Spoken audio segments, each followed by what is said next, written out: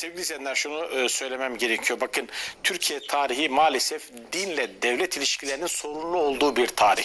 Bakın Türkiye'de darbe dönemlerinde darbeleri, darbecileri övdüren hutbeler okutuldu camilerde.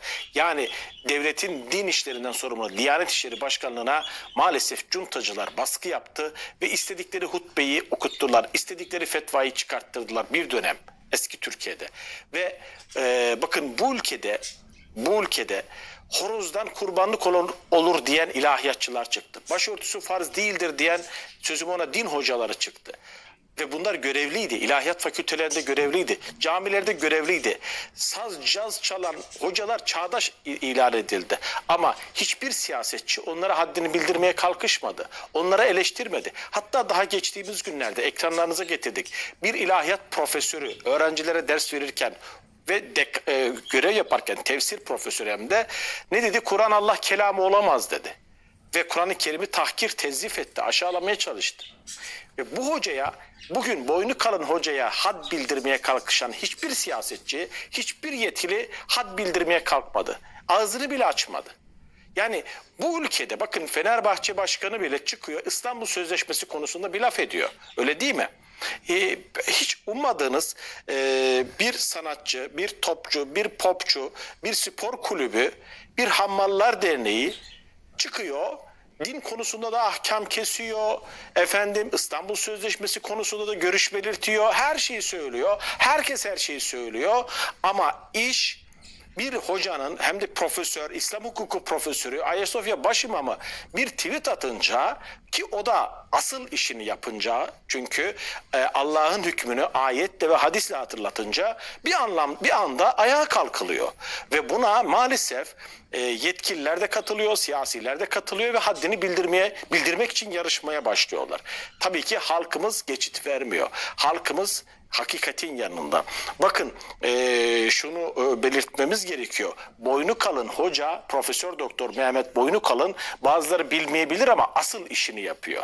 Çünkü İslam sadece camilere ve gönüllere hapsedilmiş bir din değildir.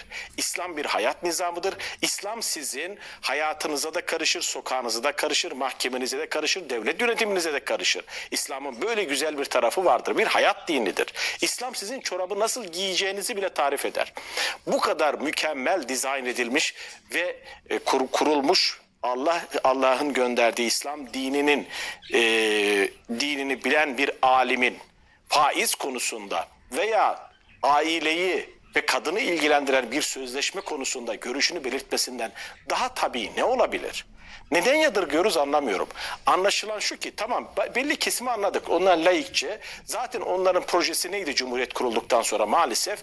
Dini camileri ve vicdanlara hapsetmek. Din hayatta olmasın, görünmesin hiçbir yerde. Din kesinlikle hayatta olamaz görüşünü dayattılar topluma. Ve anlaşılan o ki sözüm ona bizden gibi gözüken bazıları da aynı şekilde buna alışmış veya bunu kanıksamış olmalılar ki onlarla aynı koroda aynı sesi seslendirmeye başladılar.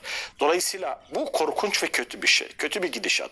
Tam tersine keşke bizim bütün din alimlerimiz, kanaat önderlerimiz hakikate dayalı olarak ama bakın hakikate hakikatten payını alacak şekilde e, medeni bir şekilde cesaretlerini ortaya koyup gerçekleri konuşabilseler, anlatabilseler. Zaten bugüne kadar bu hocaların susmasından dolayı bu toplum bu hale geldi.